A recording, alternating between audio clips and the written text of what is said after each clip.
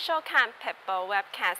Pebble 平台为了让资深公民记者有更扎实的影像拍摄技巧，每年都会举办两天一夜的影音工作坊。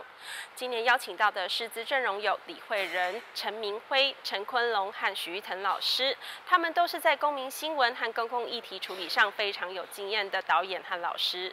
我们快来看看学员们在他们身上挖到什么宝藏呢 Paper 公民新闻平台每年会举办两天一夜的影音工作坊，邀请报道表现出色、具有潜力的公民记者参加进修。因为课程扎实，许多中南部的公民记者特地拖着行李北上参加。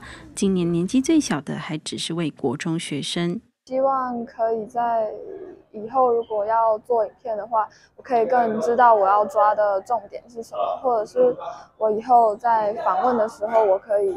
做什么更多的改进？这个是学员分为四组，由各组老师亲自指导派遣技巧。四位讲师都在公共议题有许多制作经验，传承给公民记者。知名纪录片导演李慧仁虽然已卸下记者身份，仍然每年来为大家授课。因为公共电视的公民平台，大概是全台湾最呃最完整的，然后也是最重要的一个平台。那每一年我都看到很多来自于不同。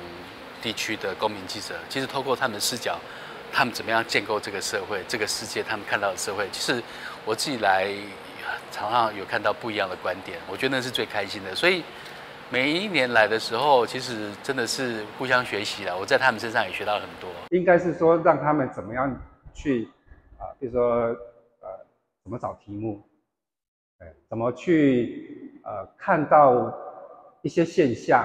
就是在现场看到一些什么东西，然后他去就是多观察一点，然后看能不能从里面再去再去寻找到一些是可以报道的点。下午大家走出教室，分别在圆山、北投、七里岸、淡水实际拍摄采访。由许玉腾老师带领的小组来到北投，填掉在地的温泉议题。巧遇温泉观光盛会，老师马上指导如何在人潮中取景。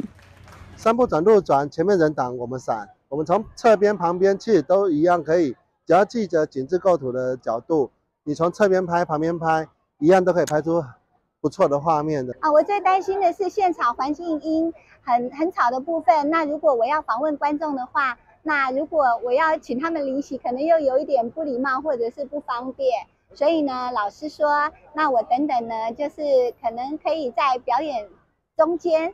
中场的时候呢，就随机问一下。除了北投温泉，远山花博也热闹滚滚。七里岸则有七里岸时保存的故事，淡水更有许多生态议题。经过一晚的沉淀和第二天剪接，有许多公民记者在老师提醒下，发现自己的盲点。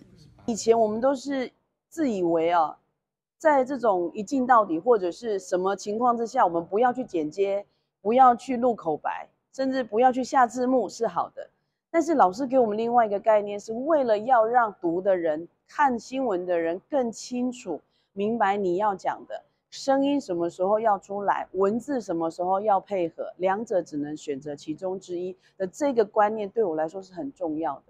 那就改变了我过去的一些陋习。看到各位真是焦头烂额的时候啊，我也不晓得为什么，怎么会有人愿意参加这么自虐的活动？但很妙的是，每年都有好多人愿意参加这样自虐的活动。成果发表，可见公民记者们选材丰富又多元，在自由的环境、高压的时间内，专业老师的指导之下，金石的两天一夜，让大家又再度晋级了。在这两天一夜的深度课程里，讲师们可以说是手把手的指导制作技巧，公民记者们也有了长时间交流经验的机会。期待大家一起努力，持续产出高质感的公民新闻。Paper Webcast，我们下次见。